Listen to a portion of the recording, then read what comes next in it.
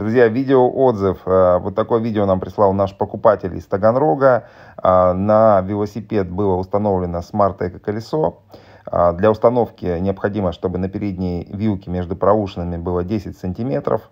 Никаких проводов. Устанавливается буквально за 5 минут. Заряжается от сети 220. В оси порт зарядный находится. Значит, время зарядки 4-5 часов.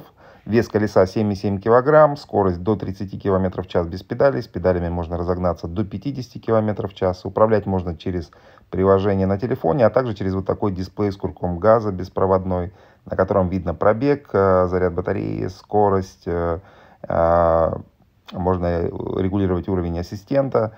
Когда вы крутите педали, мотор вам помогает. Вот отличный вариант, никаких проводов, мобильность и